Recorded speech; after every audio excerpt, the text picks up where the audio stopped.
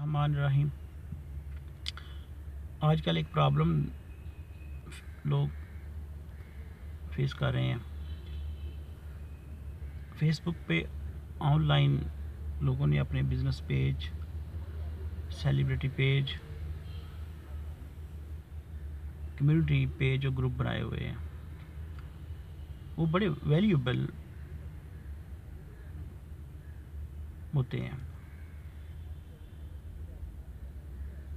Business پیجوں پہ pages پہ تو بہت زیادہ انہوں نے ہارڈ ورک اور انویسٹمنٹ کی ہوتی ہے۔ ان کو گرو کیا ہوتا ہے۔ وہاں کمیونٹی کو وہ اپنی بزنس کے بارے میں اپڈیٹ دیتے ہیں۔ اپنی بزنس آئٹمز انٹروڈیوس کرواتے ہیں۔ تو نارملی جو ہیکر ہیں ان کو یہ آفر کرتے ہیں کہ آپ کے پیج پہ ہم آرٹیکل پبلش کریں گے اور ہر ماہ پھر آپ کو اس کے ڈالرز میں پیسے ملیں گے۔ ٹیمپٹیشن دیتے ہیں۔ تو جن لوگوں کو زیادہ اس کا علم نہیں ہے، اس ہیکنگ ٹیکٹکس کا، تو وہ اس کا وکٹم بن جاتے ہیں۔ وہ جو ہی وہ جو لنک آیا ہوتا ہے اس کو کلک کرتے ہیں، تو ان کی پیج کی انفارمیشن جو ہے وہ ہیکر کے پاس چلی جاتی ہے۔ وہ اس کے اندر جو ایڈمن ہوتے ہیں، ان کو ریموو کر کے خود ایڈمن بن جاتے ہیں۔ اور پیج جو ہے وہ ایکسکلوسو ان کے کنٹرول میں چلا جاتا ہے۔ یہ بہت بڑا لاس ہوتا ہے۔ یہ کسی کی کئی سالوں کی محنت اکار جاتی ہے۔ تو اس کا بھی میں کوئی ایڈمن پروسیس نہیں دیا فیس بک نے کہ آپ نے اس کو ریکور کیسے کرنا ہے۔ تو اس کے لیے ہم دیتے ہیں لیگل پروسیس جو چار ہفتے سے سولہ ہفتے تک کا ہوتا ہے۔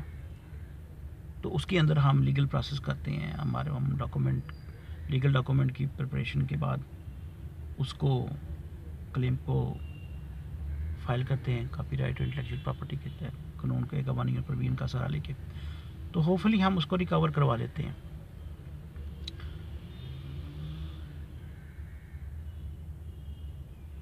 اب اس کا یہ سوال پوچھ جاتا ہے کہ اس کا میکنزم فیس بک نے کیوں نہیں دیا ہوا؟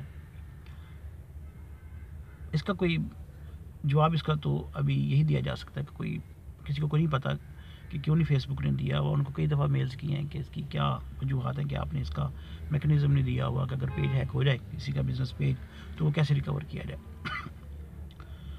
تو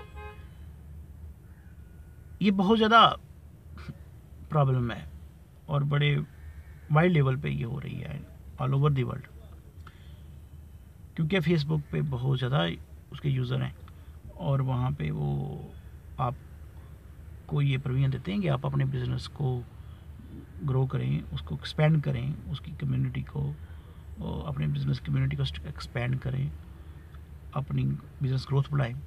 تو وہ پیج بہت ویلیوبل بن جاتا ہے۔ ایون کہ جتنے بھی بڑے دنیا کے برانڈ ہیں، انہوں نے پیج بنے ہوئے ہیں۔ دنیا کے بڑے بڑے بزنس کے جو برانڈ ہیں وہ بنے ہوئے ہیں، وہ اپنی اپڈیٹ دیتی ہیں۔ تو ہر ہر بندہ جو جس بھی کمیونٹی کا ہے، جس بھی کسی بزنس یا سروس میں انوالو ہے، وہ اپنی سروس اور بزنس جو ہے وہ انٹروڈیوس کرواتا ہے فیس بک پیج کے ذریعے سے اور اس پہ ہارڈ ورک کرتا ہے انویسٹ کرتا ہے ٹائم دیتا ہے۔ اور وہ کئی دفعہ تو آٹھ آٹھ سال، نو نو سال، دس دس سالوں کی محنت ہوتی ہے جو ضائع جاتی ہے۔ اگر وہ ریکور نہ ہو تو لیکن